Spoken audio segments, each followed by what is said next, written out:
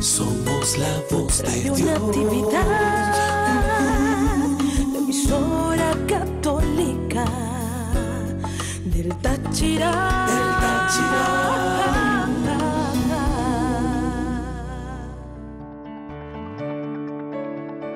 La Eucaristía es la fuente y culmen de toda vida cristiana. Es signo de unidad, vínculo de caridad y banquete pascual en el que se recibe a Cristo. El alma se llena de gracia y se nos da la prenda de la vida eterna. A partir de este momento, escucharás la celebración de la Santa Eucaristía desde la Casa de Oración Virgen María de Jerusalén. De contento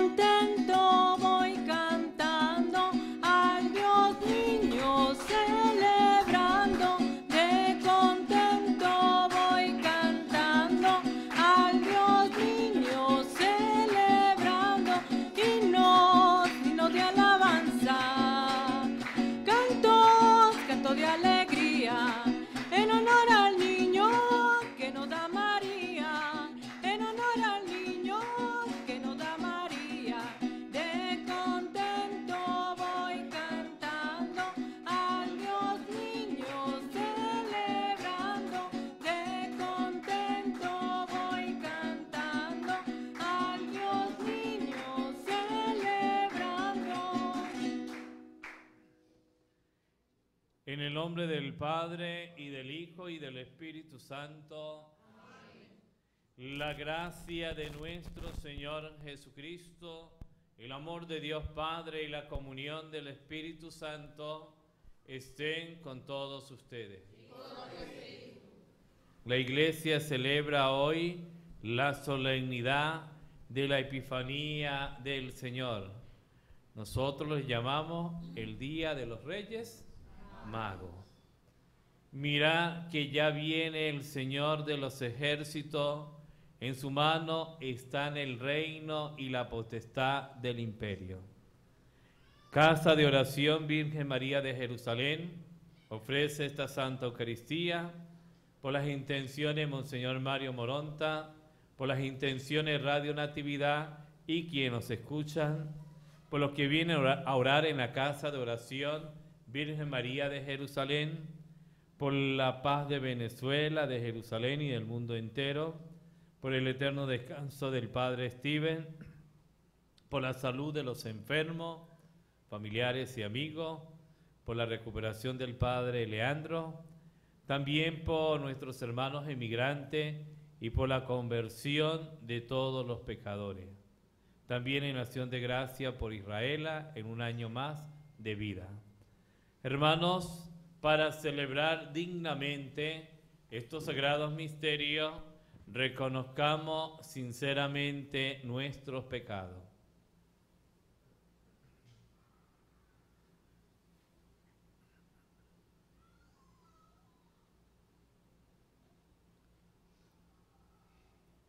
Decimos todos, yo confieso ante Dios Todopoderoso y ante ustedes, hermanos, que he pecado mucho de pensamiento, palabra, obra y omisión, por mi culpa, por mi culpa, por mi gran culpa.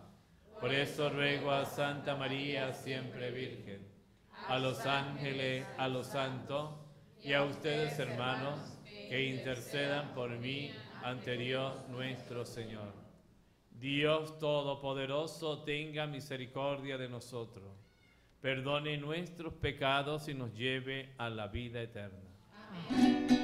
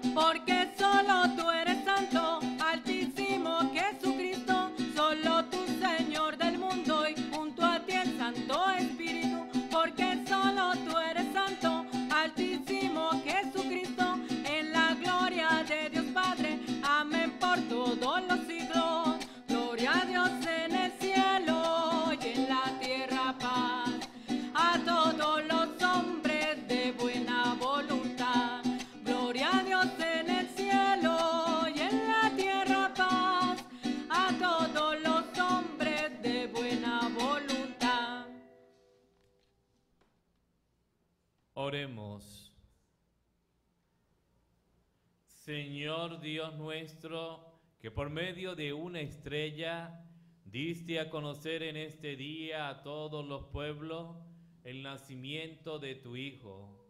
Concede a los que ya te conocemos por la fe llegar a contemplar cara a cara la hermosura de tu inmensa gloria. Por nuestro Señor Jesucristo, tu Hijo, que contigo vive y reina en la unidad del Espíritu Santo, y es Dios por los siglos de los siglos.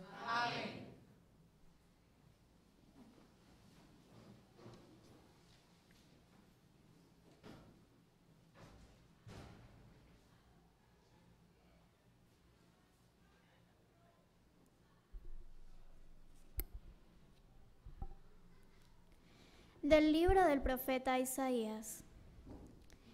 Levántate y resplandece Jerusalén, porque ha llegado tu luz, y la gloria del Señor alborea sobre ti. Mira las tinieblas cubren la tierra, y espesa niebla envuelve a los pueblos. Pero sobre ti resplandece el Señor, y en ti se manifiesta su gloria. Caminarán los pueblos a tu luz, y los reyes al resplandor de tu aurora. Levanta los ojos y mira alrededor. Todos se reúnen y vienen a ti. Tus hijos llegan de lejos, a tus hijas las traen en brazos. Entonces verás esto radiante de alegría. Tu corazón se alegrará y se ensanchará cuando se vuelquen sobre ti los tesoros del mar y te traigan las riquezas de los pueblos. Te inundará una multitud de camellos y dromedarios, procedentes de Madián y Efa. Vendrán so- todos los de Sabá, trayendo incienso y oro, y proclamando las alabanzas del Señor. Palabra de Dios. Te alabamos, Señor. Que te adoren, Señor, todos los pueblos. Que te adoren, Señor, todos los pueblos. Comunica, Señor, al Rey tu juicio y tu justicia, al que es Hijo de, de Reyes. Así tu siervo saldrá en defensa de tus pobres y regirá a tu pueblo justamente. Que te adoren, Señor, todos los pueblos.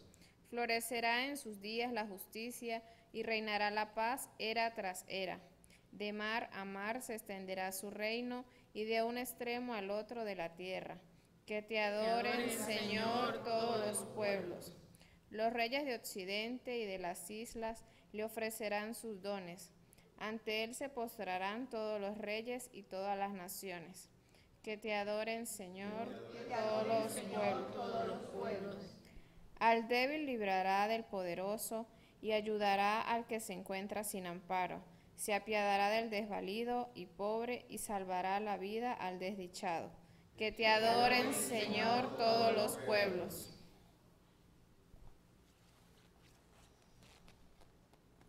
Lectura de la carta del apóstol San Pablo a los Efesios. Hermanos, ¿han oído hablar de la distribución de la gracia de Dios que se me ha confiado en favor de ustedes? Por revelación se me dio a conocer este misterio que no había sido manifestado a los hombres en otros tiempos, pero que ha sido revelado ahora por el Espíritu a sus santos apóstoles y profetas. Es decir, que por el Evangelio también los paganos son coherederos de la misma herencia, miembros del mismo cuerpo y partícipes de las mismas promesas en Jesucristo. Palabra de Dios.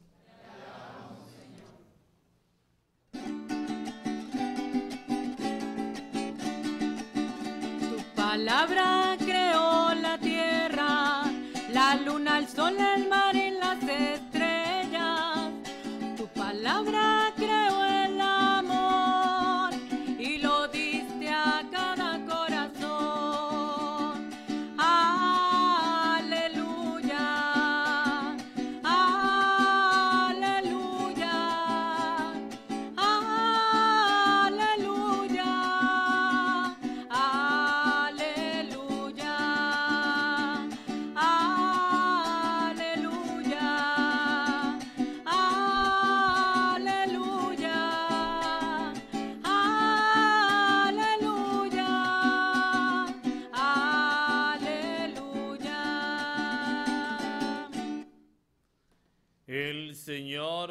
esté con ustedes. Lectura del Santo Evangelio según San Mateo.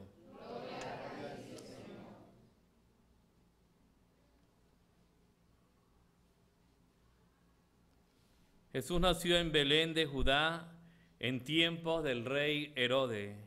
Unos magos de Oriente llegaron entonces a Jerusalén y preguntaron, ¿dónde está el rey de los judíos que acaba de nacer? Porque vimos surgir su estrella y hemos venido a adorarlo. Al enterarse de esto, el rey Herodes se sobresaltó y toda Jerusalén con él. Convocó entonces a los sumos sacerdotes y a los escribas del pueblo y les preguntó dónde tenía que nacer el Mesías.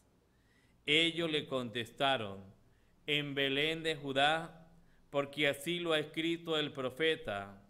Y tú, Belén, tierra de Judá, no eres en manera alguna la menor entre las ciudades ilustres de Judá, pues de ti saldrá un jefe que será el pastor de mi pueblo Israel. Entonces Herodes llamó en secreto a los magos para que le precisaran el tiempo en que se le había aparecido la estrella y los mandó a Belén diciéndole, vayan a averiguar cuidadosamente qué hay de ese niño y cuando lo encuentren, avísenme para que yo también vaya a adorarlo. Después de oír al rey, los magos se pusieron en camino y de pronto la estrella que habían visto surgir comenzó a guiarlo hasta que se detuvo encima de donde estaba el niño. Al ver de nuevo la estrella, se llenaron de inmensa alegría. Entraron en la casa y vieron al niño con María, su madre, y postrándose lo adoraron. Después abrieron sus cofres, le ofrecieron regalos, oro, incienso y mirra. Advertido durante el sueño de que no volvieran a Herodes, regresaron a su tierra por otro camino. Palabra del Señor.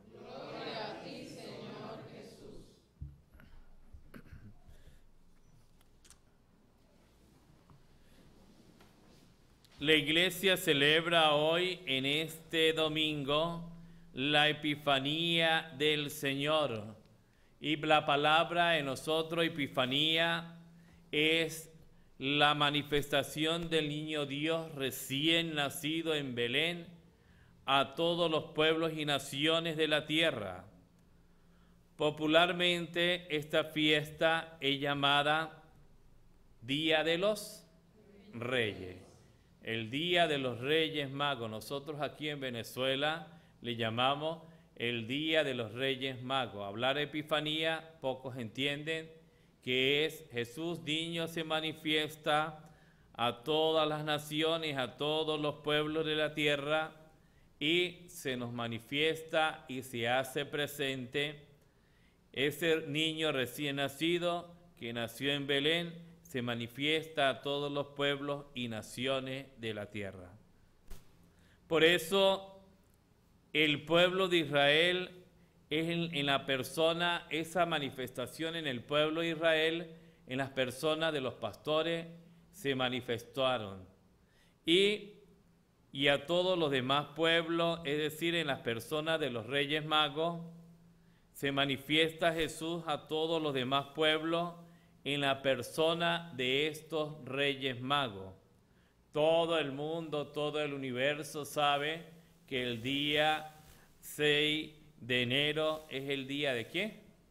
De los reyes magos, de la Epifanía del Señor. No puramente aquí la celebramos en muchas partes del mundo y más que todos los que somos católicos celebramos la Epifanía del Señor. Estos reyes magos representan a tres continentes, al continente europeo, al continente asiático y al continente africano. Entonces, se manifiesta a todo el mundo, a todas las naciones, a todos los pueblos. En Israel se le manifestaron por medio de los pastores y a nosotros los reyes magos se nos manifiesta para adorar al recién nacido.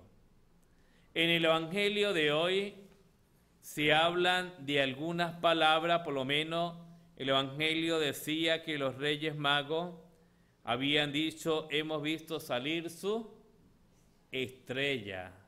La estrella somos cada uno de nosotros. Hemos visto surgir su estrella. En medio de muchas estrellas, los magos descubren una estrella diferente. Y tenemos que descubrir estrella para llevar al Señor. Nosotros podemos ser ayuda, podemos alumbrar a muchas personas a que se encaminen, así como estos tres reyes magos que fueron a Belén a adorar al niño, se postraron y lo vieron. También en el Evangelio decía hoy, venimos a presentarle nuestros homenajes. Eso venimos a presentarle nuestros homenajes es que tenemos que dejar muchas veces la comodidad de las cosas que tenemos día a día. Los reyes magos dejaron todo lo que tenía y dejaron la comodidad de su casa. También se enfrentaron a un tiempo del clima fuerte entre calor y frío y también pasaron por peligros. Fueron eso venimos a presentar nuestros homenajes cuando uno va en busca de Dios, cuando uno está en el camino del Señor, siempre se presentan algunas inconvenientes, algunos inconvenientes que nos quitan de ese camino, pero los Reyes Magos nos dieron pista y ellos superaron todos esos peligros, todas esas comodidades y hasta en el clima. El Evangelio dice también al llegar a Jerusalén, preguntaron. Uno se hace la pregunta, si los reyes conocieron, estudiaron la estrella, ¿por qué preguntaron sobre el niño. Todas las cosas no nos las sabemos, en las cosas de la iglesia todo no lo sabemos, sino que el Espíritu Santo va dando iluminación, va dando como esas, esos caminos, esas luces necesarias para conocerlo. Entonces es importante preguntar hasta los más sabios, porque dicen que estos reyes eran sabios, los reyes magos, pero ellos preguntaron y llegaron a donde Herodes y Herodes se asustó él y toda Jerusalén, dice la palabra, y ahí está el pecado de la envidia o de quitar los poderes o los tronos. El Evangelio también nos, narra que vieron al niño Jesús con María su madre, se postraron y lo adoraron. Es importante la adoración que le hacemos a Jesús. Por eso en la misa nos arrodillamos las personas que puedan. Se arrodilla es una manera de, disculpe, es una manera de postración, de adoración que hacemos nosotros a Jesús presente en la hostia consagrada. Entonces es importante la adoración y la postración. Y el Evangelio dice que se volvieron a su país por otro camino. Cuando uno tiene una experiencia de Dios, pues uno busca el camino bueno, el camino mejor. ¿Y cuál es el camino mejor? El camino mejor es un cambio, que ellos salieron cambiados, transformados, vieron la verdad, vieron el camino, vieron la vida. ¿Quiénes eran en realidad los llamados reyes magos? Por lo menos todos los conocemos, cómo se visten, qué, qué dones traen, pero ¿quiénes eran en realidad los llamados reyes magos? Eran astrónomos y sabios de Persia, hombres religiosos, que descubrían y que querían conocer la verdadera religión. Ellos no eran una persona puramente, eran los físicos, los que conocían la ciencia, sino que en ellos iba algo más profundo, conocer la verdadera religión. Eran hombres profundamente religiosos, buscadores de la verdad y de la verdadera religión. Esos son los reyes magos. También eran generosos, porque su viaje fue largo y sacrificado. También ellos eran valientes porque fueron objeto de burlas de muchas personas. Eran buscadores de la verdad de Dios de todos los tiempos, porque todos los hombres son buscadores de la verdad de Dios de Cristo. Cuando alguien dice, Padre, he comenzado a buscar a Dios y todo me ha ido mejor. Es una expresión muy muy de aquí de Venezuela y uno le pregunta a un joven, a un niño, a una persona y cuando esa persona va por buenos caminos, le responde eso. Padre, he comenzado a buscar a Dios y todo me ha ido bien, todo me ha ido mejor. La estrella guió a los magos hasta que se detuvo. Lo, acabamos de escuchar hoy en el Evangelio. Y encima donde estaba el niño, vieron al niño con María, su madre, y postrándose lo adoraron. Después le ofrecieron oro, incienso y mirra. Con estas ofrendas reconocieron al niño como Dios, como el niño Dios. Cuando uno hace un ofrecimiento, cuando uno hace una oración, mucha gente nos critica porque nos arrodillamos y nosotros venimos a adorar, igual que los reyes magos, a Dios. Estamos haciendo actos de adoración. Cuando está el Santísimo expuesto es el niño Jesús que está ahí. Cuando celebramos la Eucaristía y cuando celebramos la misa, por eso vuelvo y repito que en la Eucaristía las personas que no están enfermas casi la mayoría se ponen de rodilla a qué? A adorar a Jesús. sea niño, sea el que está crucificado, sea el que está en la hostia consagrada, pero venimos a adorarlo. Nos postramos y le hacemos esa adoración. ¿Qué es la estrella para nosotros? La estrella tiene que significar algo para nuestras vidas. El lugar de la estrella para nosotros tiene que ser la fe. La estrella es la que me da mi fe, una fe limpia y pura. Es la luz que nos conduce hasta conocer, amar y seguir a Jesús. Pensemos en el mundo actual que solo el, el 18% de personas son cristianas, tienen fe en Jesús como el Hijo de Dios y su Salvador. Y el 82% que pasa en Venezuela, el 90% de, del mundo en Venezuela son el 90% católicos, pero profesan la fe. El 10% son los que van a la Santa Misa. Por eso es importante manifestar la estrella, me indica a mí que es la fe. Yo veo a Jesús por medio de la fe en el Santísimo, en la consagración y en los momentos de cada sacramento. Pero la fe llega a las personas por medio de los apóstoles que son estrella. Por lo menos los apóstoles nos enseñaron a nosotros la doctrina. Y esa doctrina va de generación en generación y eso significa otro significado de lo que puede significar la estrella para nosotros y para todo.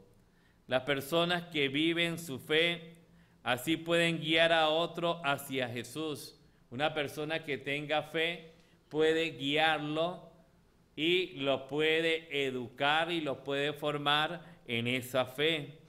Los cristianos auténticos, es decir, los santos, son las verdaderas estrellas que hacen falta hoy en día.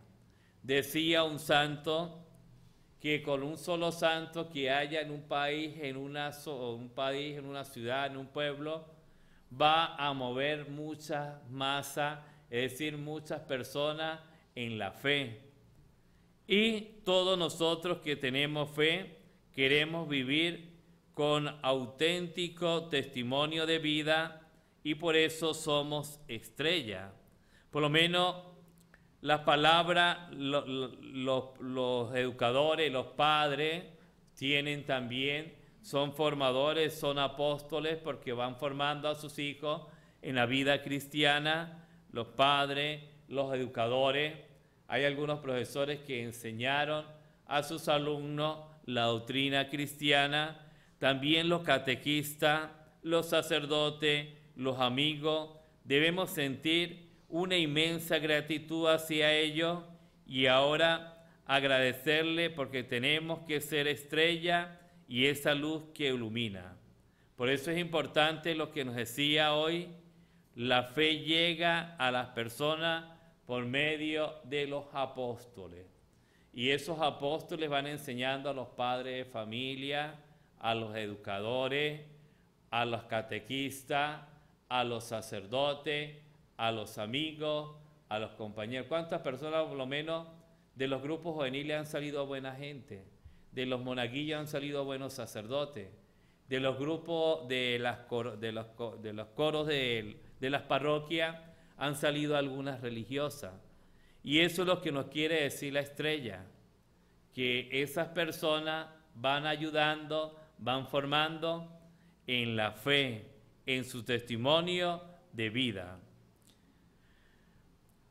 Hoy, Epifanía del Señor tiene que producir en nosotros tres frutos. El primer fruto de la Epifanía del Señor es gratitud por el don de la fe.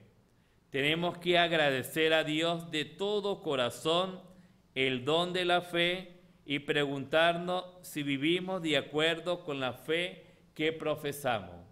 Entonces, la primer fruto de la Epifanía es gratitud por el don de la fe. La fe me hace creer muchas cosas. A veces hay cosas de Padre, pero yo no siento a Dios. La fe te hace creer que Dios está ahí. Hay muchas personas que dudan en las cosas de la iglesia y por eso todos los días tenemos que pedirle al Señor, Señor, aumentanos la fe. El segundo fruto es la gratitud a las personas que fueron las estrellas y que nos condujeron a Jesús. Agradecerle amablemente, mucho haciéndonos todo el bien y orando mucho por ello. Entonces es importante, hay muchas personas que han ayudado en la fe, por lo menos los abuelos, también algunos padres de familia.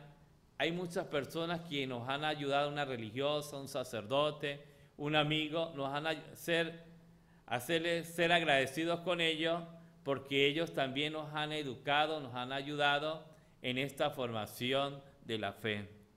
Eso es epifanía del Señor. Tiene que producir en nosotros la fe, la gratitud hacia los demás y un nuevo ardor misionero. No quedarme puramente con recibir y con lo que me enseña, sino que eso que he recibido y eso que me han enseñado lo tengo que llevar a muchas personas. Esta es la parte misionera, el espíritu apostólico para ser estrella cristianos auténticos que con su ejemplo y oración y palabra pueden llevar a muchos a la fe a Jesús. ¿Qué podemos ofrecerle hoy a Jesús? Los reyes magos que le ofrecieron. Oro, incienso y mirra. ¿Qué le podemos ofrecer nosotros hoy a Jesús? Por lo menos el oro aunque no tengamos oro, pero el oro, hablándonos en la parte humana, es cumplir la voluntad de Dios. Ese es el oro. Las personas tienen mucha, mucho poder en el Señor, pero tienen que cuidar sus vidas como vasijas de barro.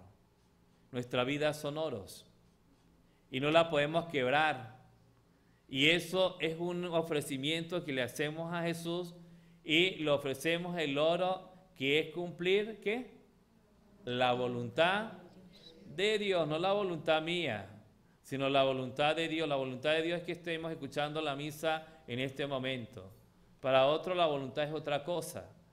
Ajá, el oro. Ahora viene el incienso.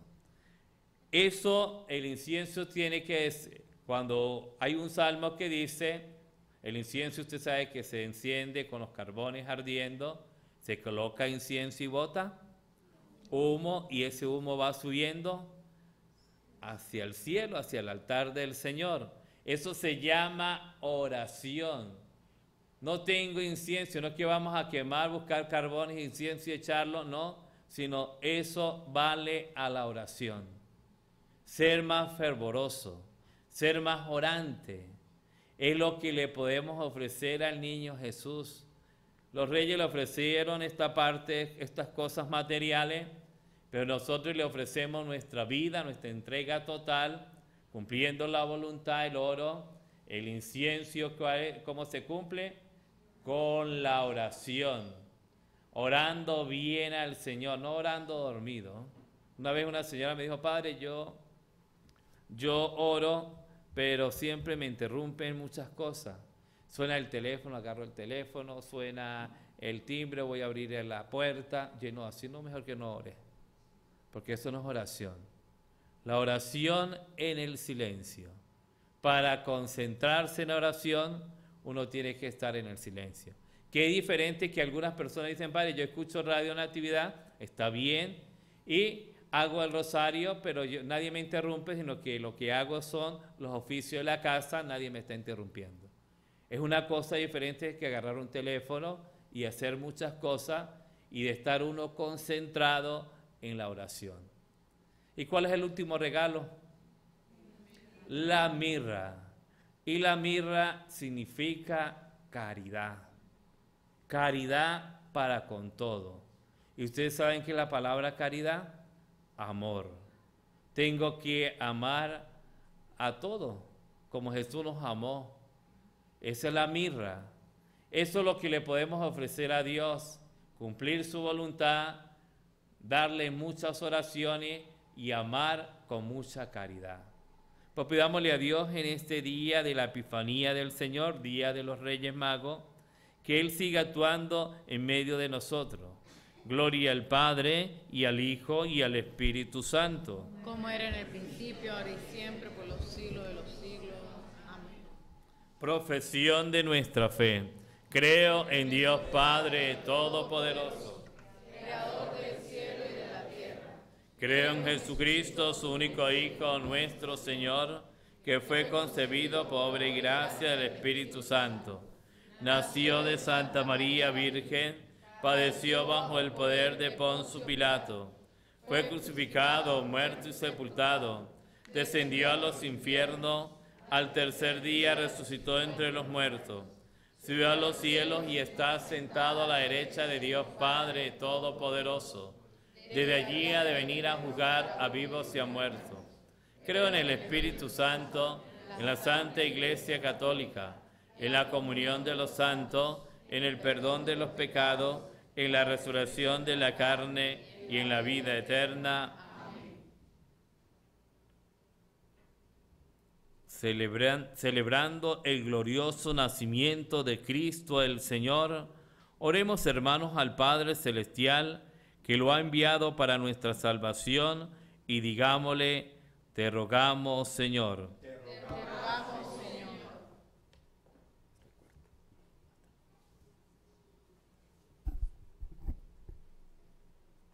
por la Santa Iglesia de Dios, para que todos sus fieles conserven y profundicen su fe en Cristo, Dios como el Padre y hombre como nosotros, roguemos al Señor. Por todos los hombres, para que lleguen al conocimiento de Cristo y encuentren en Él luz para su vida y descanso para su espíritu, roguemos al Señor. Te rogamos, Señor. Por los que en estos días de Navidad sufren a causa de la soledad, de la pobreza y del desamparo, roguemos al Señor. Te rogamos, Señor. Por todos nosotros, para quienes nos alegramos con el nacimiento de Cristo, sintamos la urgencia de anunciar su evangelio a todos los hombres, roguemos al Señor. Te rogamos, Señor. Por la paz de Venezuela, de Jerusalén y del mundo entero, roguemos al Señor. Te rogamos, Señor. Por las intenciones, Monseñor Mario Moronta, por las intenciones Radio Natividad y quienes nos escuchen, los aquí presentes, roguemos al Señor. Te rogamos, Señor. Por la salud de los enfermos, familiares y amigos, por la salud, recuperación del Padre Leandro, también por nuestros hermanos emigrantes y por aquellas personas que están pasando por algunas dificultades o problemas, roguemos al Señor. En acción de gracias a Dios y a nuestra Madre Santísima por un año más de vida de Israel, roguemos al Señor. Te rogamos, Señor. Todo esto te lo pedimos a Jesús, tu Hijo amado, que vives y reina por los siglos de los siglos. Amén.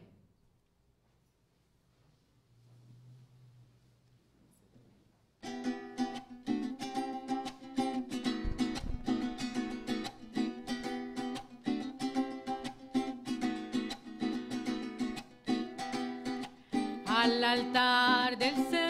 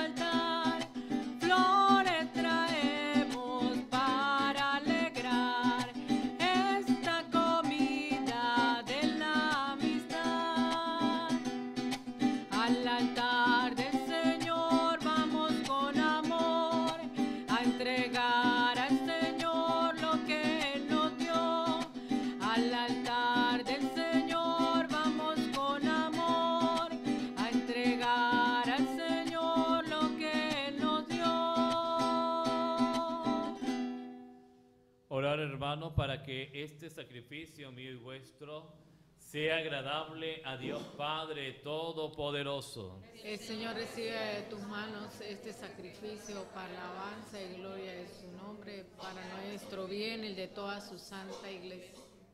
Mira, Señor, con bondad los dones de tu iglesia, que no consiste ya en oro, incienso y mirra, sino en tu mismo Hijo Jesucristo, que bajo la apariencia de pan y de vino va a ofrecerse en sacrificio y a dársenos en alimento, y que vive y reina por los siglos de los siglos.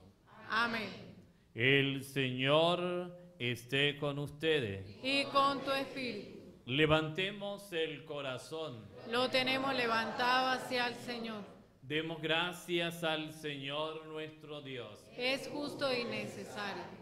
En verdad es justo y necesario, es nuestro deber y salvación, darte gracias siempre y en todo lugar, Señor Padre Santo, Dios Todopoderoso y Eterno, porque hoy has revelado en Cristo, para luz de todos los pueblos, el misterio de nuestra salvación, pues al manifestarse tu Hijo en nuestra carne mortal, hiciste partícipe de la gloria de su inmortalidad. Por eso con los ángeles y los arcángeles y con todos los coros celestiales cantamos sin cesar el himno de tu gloria.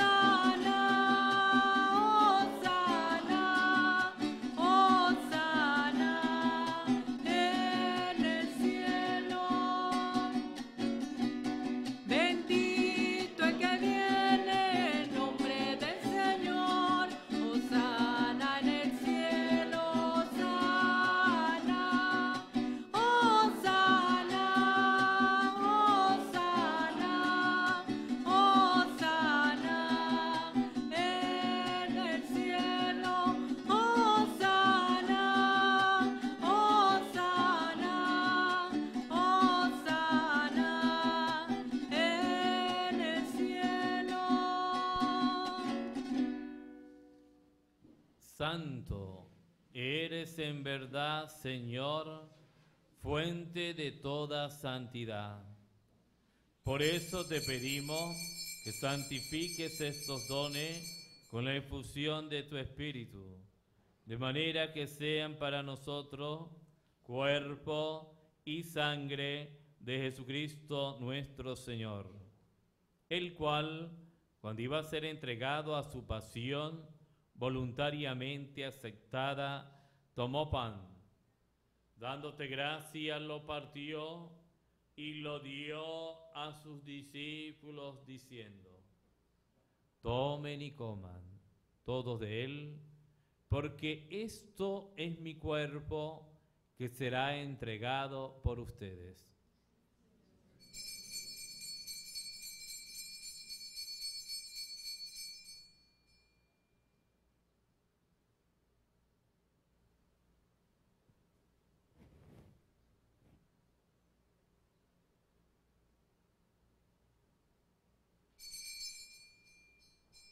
Del mismo modo, acabada la cena, tomó el cáliz y dándote gracia de nuevo, lo pasó a sus discípulos diciendo, tomen y beban todos de él, porque este es el cáliz de mi sangre, sangre de la alianza nueva y eterna, que será derramada por ustedes y por mucho para el perdón de los pecados. Hagan esto en conmemoración mía.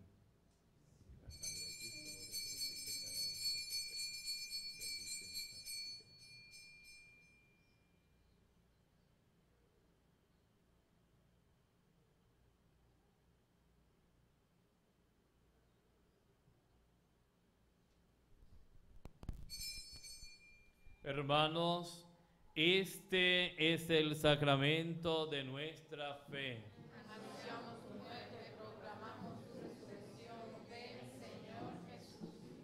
Así pues, Padre, al celebrar ahora el memorial de la muerte y resurrección de tu Hijo, te ofrecemos el pan de vida y el cáliz de salvación.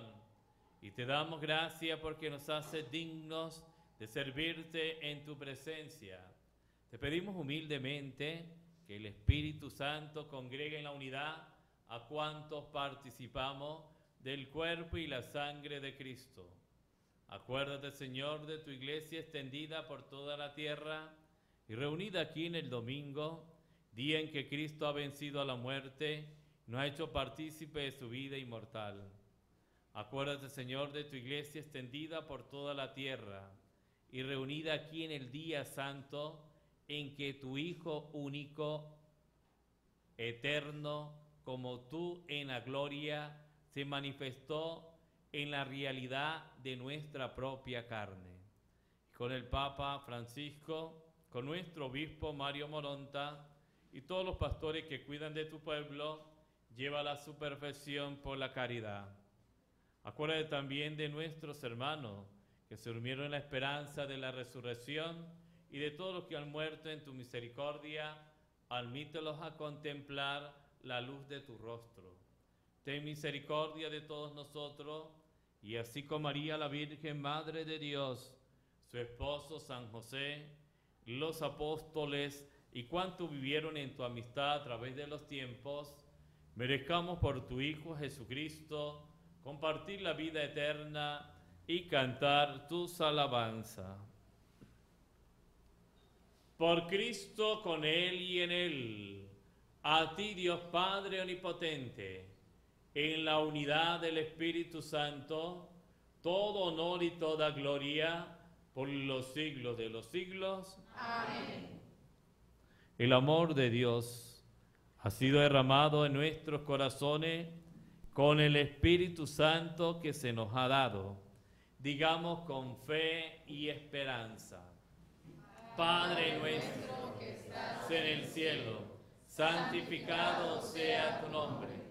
Venga a nosotros tu reino, hágase tu voluntad en la tierra como en el cielo. Danos hoy nuestro pan de cada día. Perdona nuestras ofensas, como también nosotros perdonamos a los que nos ofenden.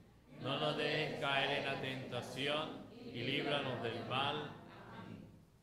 Líbranos de todos los males, Señor, y concédenos la paz en nuestros días, para que, ayudados por tu misericordia, vivamos siempre libres de pecado y protegidos de toda perturbación, mientras esperamos la gloriosa venida de nuestro Salvador Jesucristo. Tuyo es el reino, tuyo es el poder, la gloria por siempre, Señor. Señor Jesucristo, que dijiste a tus apóstoles, la paz les dejo, mi paz les doy, no tengas en cuenta nuestros pecados, sino la fe de tu iglesia. Y conforme a tu palabra, concede la paz y la unidad. Tú que vives y reinas por los siglos de los siglos. Amén. La paz del Señor esté siempre con todos ustedes. Y con tu espíritu. Como hijos de Dios intercambien ahora un signo de comunión fraterna.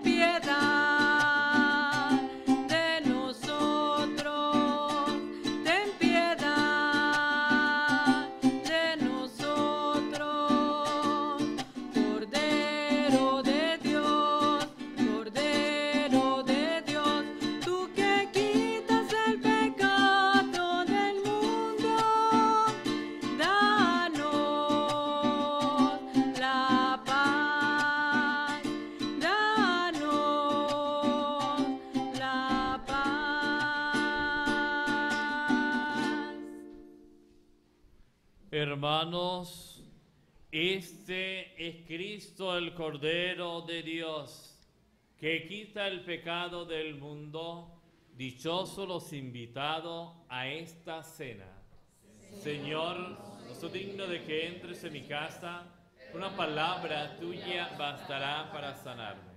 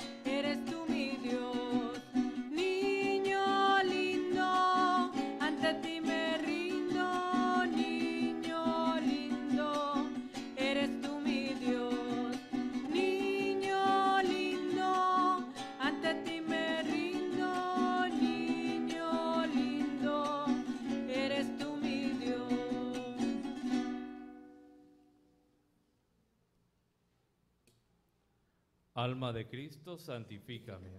Cuerpo de Cristo, sálvame. Sangre de Cristo, embriágame. Agua al costado de Cristo, lávame. Pasión de Cristo, confórtame. Oh mi buen Jesús, óyeme. Dentro de tu llagas, escóndeme. No permita que me aparte de ti. Del enemigo malo, defiéndame. En la hora de la muerte, llámame.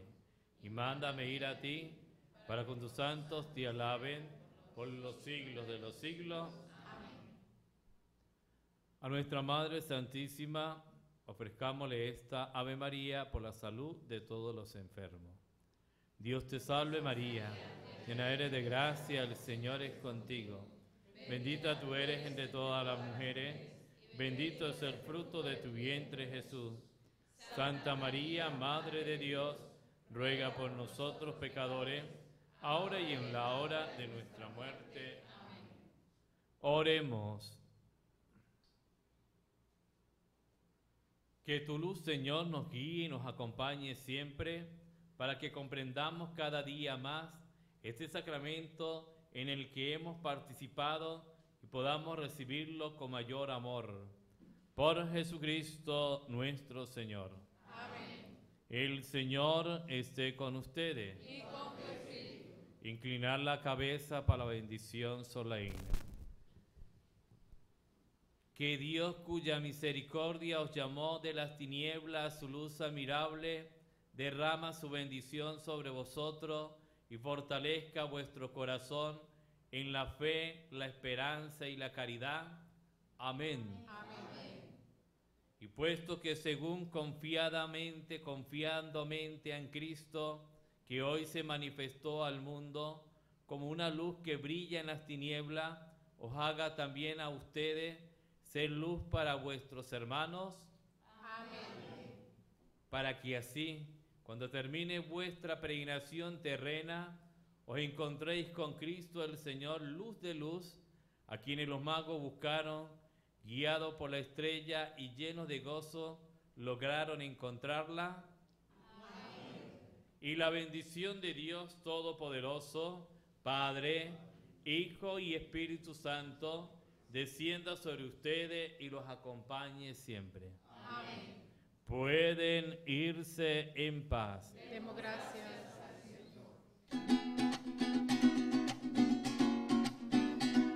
Pastores a Belén,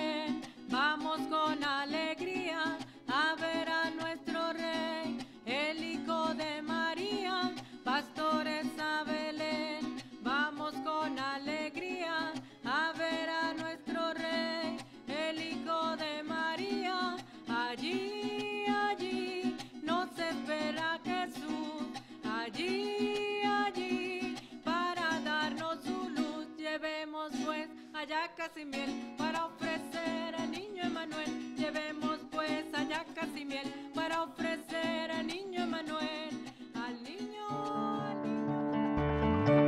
niño. Gracias Señor, porque quisiste celebrar tu entrega en torno a una mesa con tus amigos, para que fuesen una comunidad de amor.